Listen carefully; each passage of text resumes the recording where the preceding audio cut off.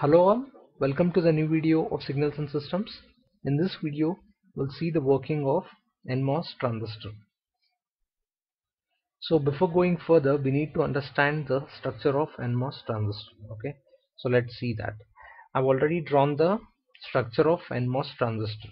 Okay, so NMOS transistor is a four-terminal device. So those four terminals are one is gate, source, drain, and substrate so these are the four terminals. And NMOS is constructed using a p-type substrate. Okay. So this part is substrate. So NMOS is constructed using p-type.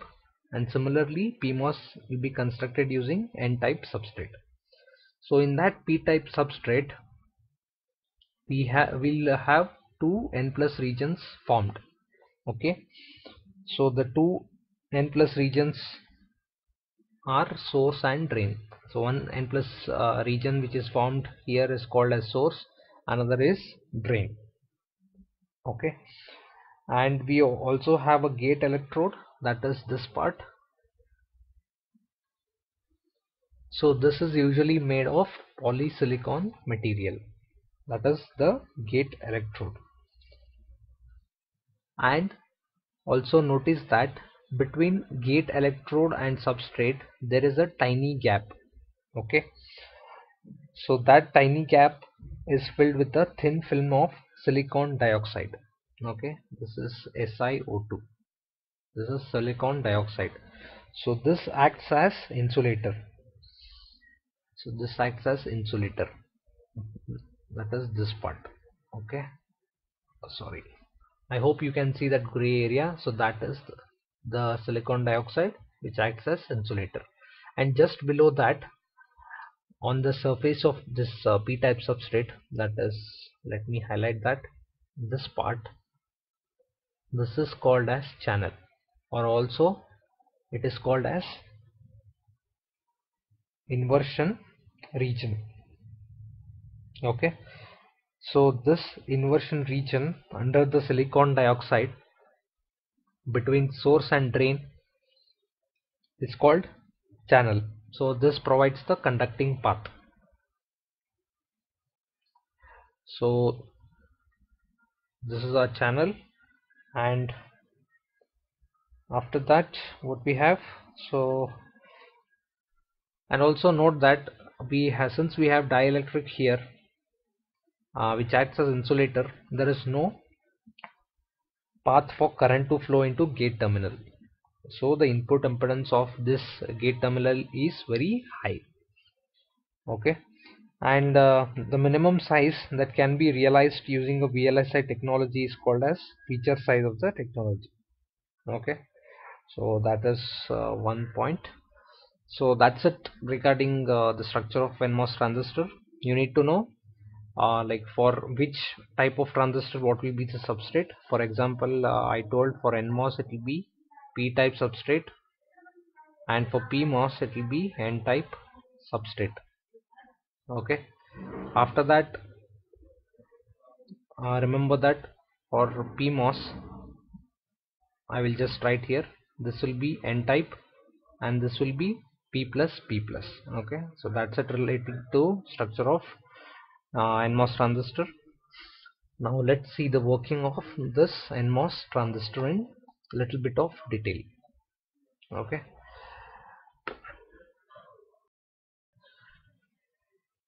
Now let's see the working of NMOS transistor. So we'll start from analyzing what happens if we apply positive voltage to the gate terminal. That is we already have a structure here of NMOS transistor now let's analyze what happens if a positive voltage is applied to the gate terminal. That is let's say we have we have applied little positive voltage here. So we already know that this is a p-type substrate. It means holes will be the dominant in this substrate. So that you will be seeing a lot of holes in this p-type substrate. And when you apply some positive voltage what happens is the holes which are at the interface that is this is the interface is the dielectric so this is the substrate so this is the interface. So the holes near the interface will get repelled because we are applying positive voltage so they'll get repelled and they go down. The holes will go down so this will result in a immobile negative ions. So when the holes get repelled it will form immobile negative ions at the interface like this.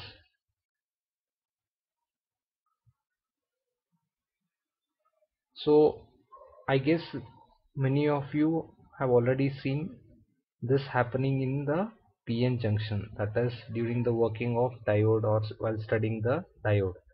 We know the diode is PN junction so this P and and then there will be negative ions here and positive ions here. So this is the depletion region. So similarly the negative ions form at the interface of this dielectric and substrate that is in this region when a po little positive voltage is applied. Okay. So this process is called as depletion. So it was called depletion region. In case of MOS this process is called as depletion. That is the first step.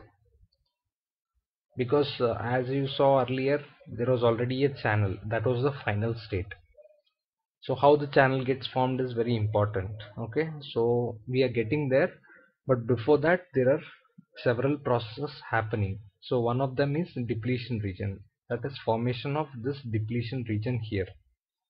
So that process is called as depletion process. So depletion happens when you apply little positive voltage okay? Now we have immobile negative ions near the interface. Suppose let's say the applied voltage at the gate terminal if we increase what happens?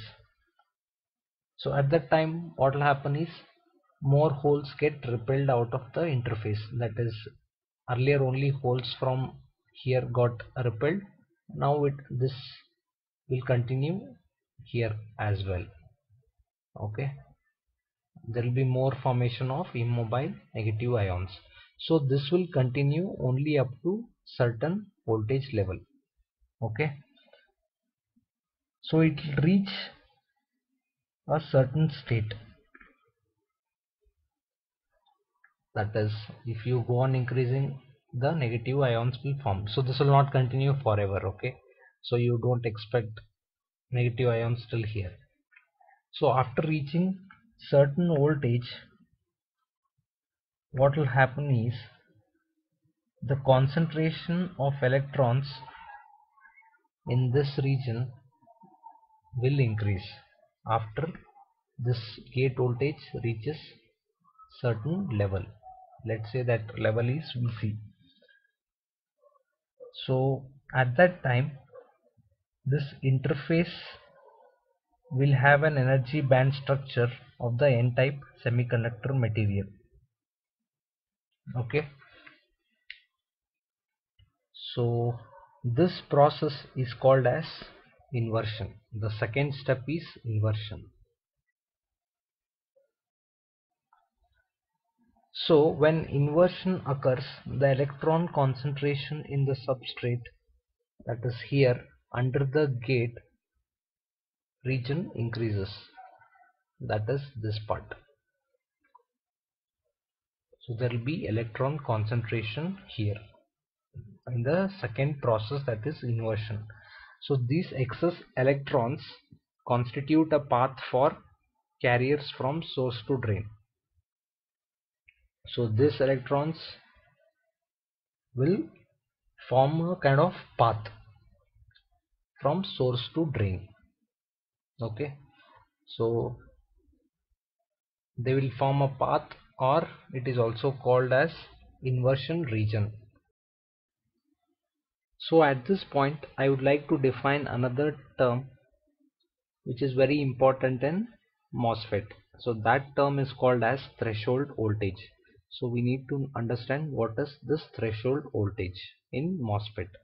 So threshold voltage VT so so threshold voltage is that value of the gate voltage applied which will form a appreciable channel just below the gate in the substrate. Okay? So let me repeat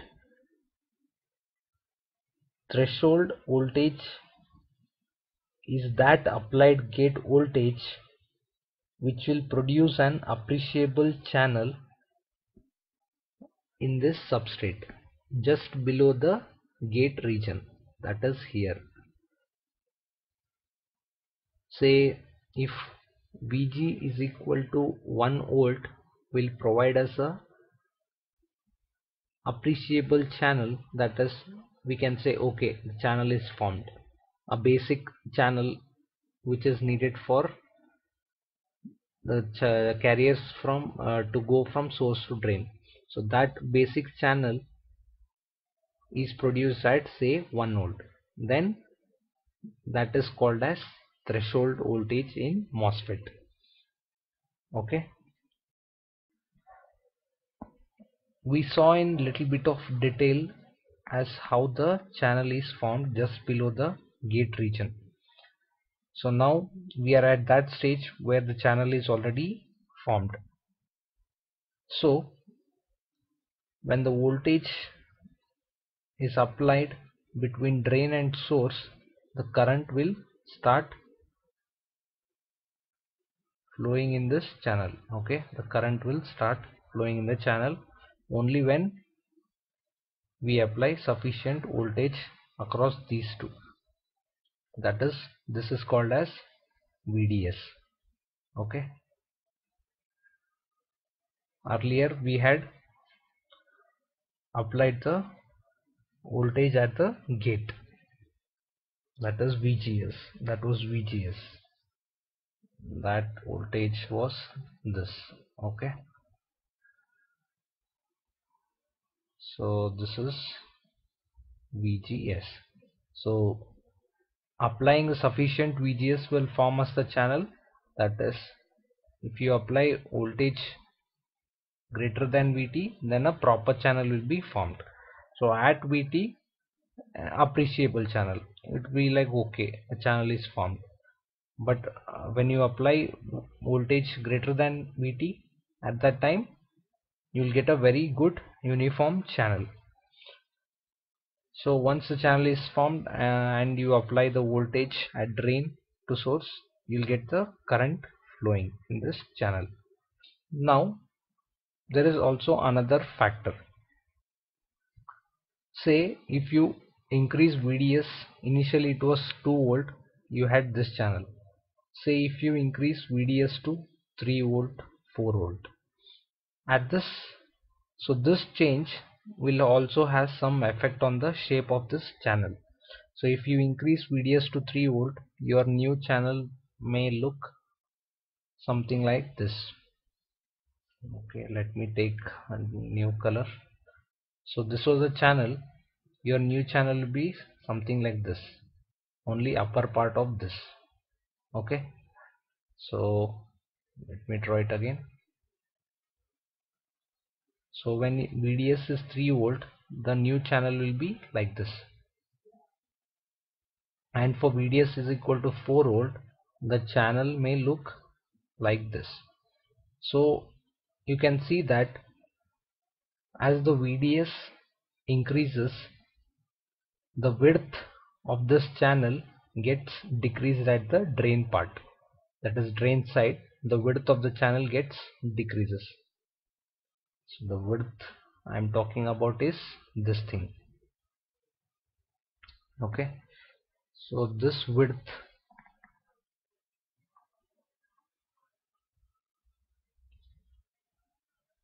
this width decreases at the drain channel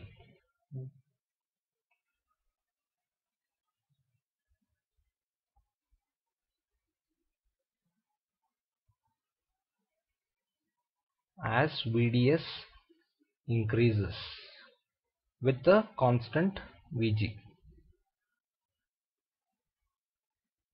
or VGS so this effect is called as channel width modulation. Okay? So that is the another thing. So now we studied in detail about the working of uh, first we saw the structure of MOS transistor and then we saw the working of that. So in this case we took the working and structure of NMOS transistor. So similarly you can try it out for PMOS transistor as well. At that uh, time the substrate will be N type and you have to change the your notations and voltage uh, polarity etc okay? So thanks for watching the video guys. If you have any doubts please use the comment section